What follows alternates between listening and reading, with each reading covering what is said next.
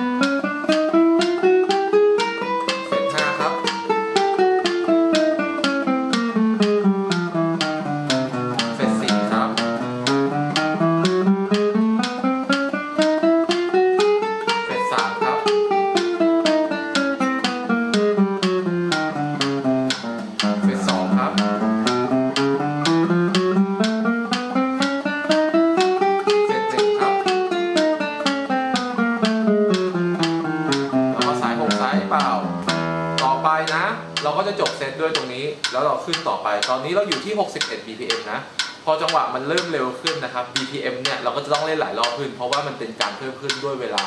ใช้ automator หรือว่า timer เนี่ยในการควบคุมความเร็วให้มันสูงขึ้นนะ คราวนี้เรามาดูที่ 62 BPM กันนะ เราจะเริ่ม MI นะก็คือนิ้วกลางดีดก่อนนะครับ นิ้วมือซ้ายเหมือนเดิมทุกอย่างเลยนะครับ เหมือนกับคลิปก่อนหน้าเลยที่เราสอนไปยาวเหยียดนะ เตรียมพร้อมนะ เตรียมพร้อมหนึ่งและสองไป่า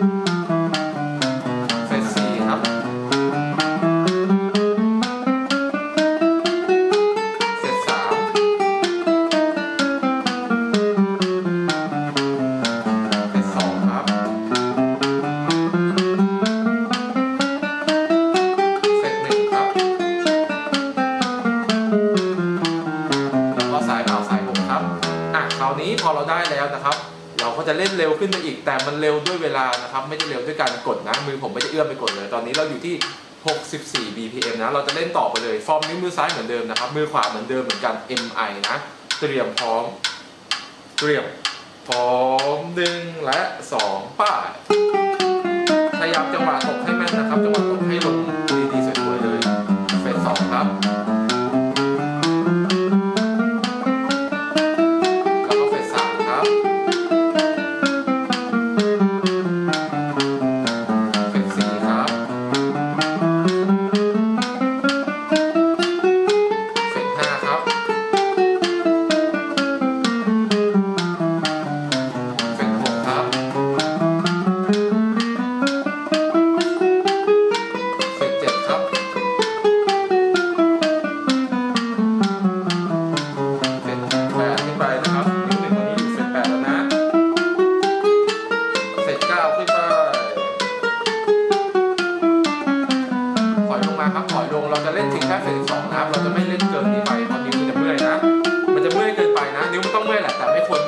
นไปนะครับ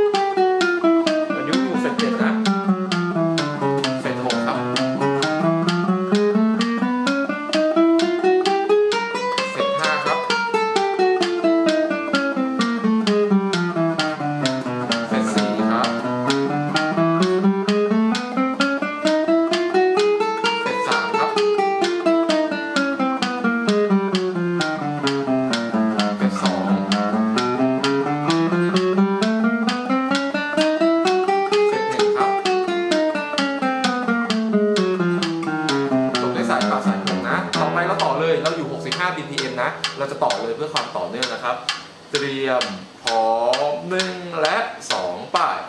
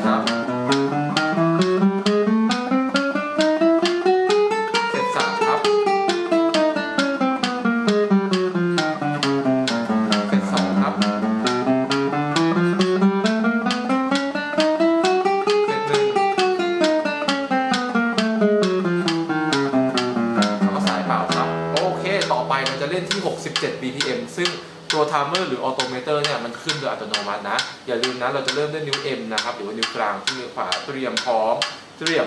1 และ2ป่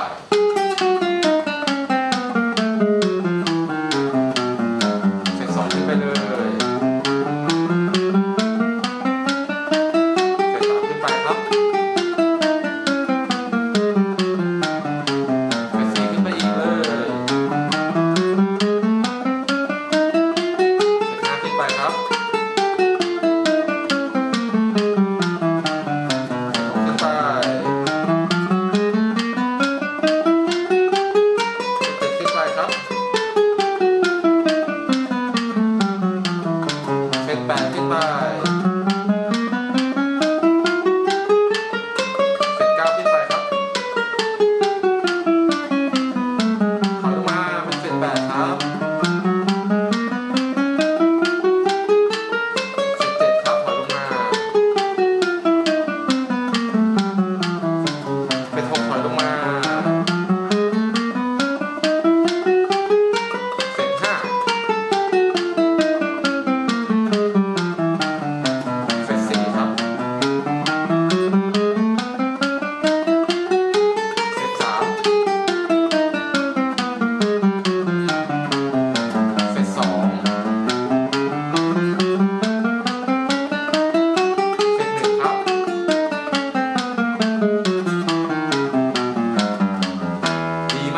คน ตอนนี้เราอยู่ 69 ppm ต่อไปจะเป็นเซตสุดท้ายนะครับ เราจะเล่นถึง 70 เลยนะเตรียมพร้อม 1 และ 2 ไป